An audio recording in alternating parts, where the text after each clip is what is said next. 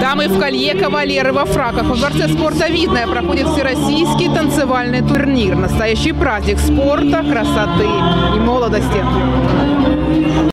На два дня наш город превратился в танцевальную столицу страны. Кубок главы Ленинского округа проводится уже 10 лет, но в этом году у турнира впервые всероссийский уровень. Почти 800 пар профессиональных спортсменов вышли на паркет Дворца спорта. Видное.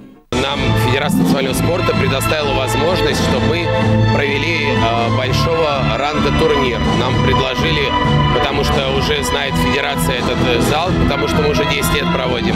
И нам дали возможность провести здесь всероссийские соревнования. Позади бесчисленные репетиции и прогоны. Каждый взмах, жест, поворот отточены до совершенства.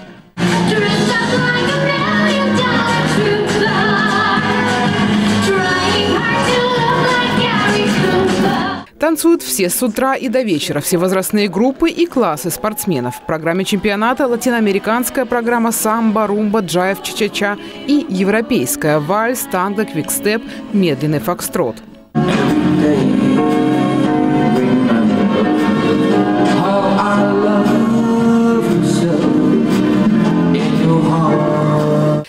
Утенкова и Азат Малаханов из танцевально-спортивного клуба «Звездный вальс» в паре всего год, но за плечами уже немало достижений и наград. Ребята признаются, что секрет успеха, помимо высокого уровня мастерства, это дружба. Самое главное в паре – это взаимопонимание, взаимопомощь. Только так можно достичь самых высоких вершин. И, конечно же…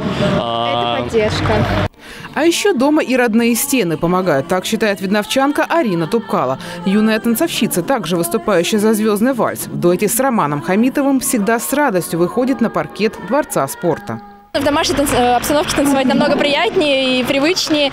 И, несомненно, даже несмотря на то, что очень мало зрителей, очень много одноклубников поддерживают. Э, некоторые родители все-таки смогли прийти. И это тоже, конечно, очень греет душу, и танцевать намного приятнее. А вот трехкратные чемпионы мира София Филипчук и Ярослав Киселев видно впервые. Именитые танцоры приятно удивлены организацией турнира.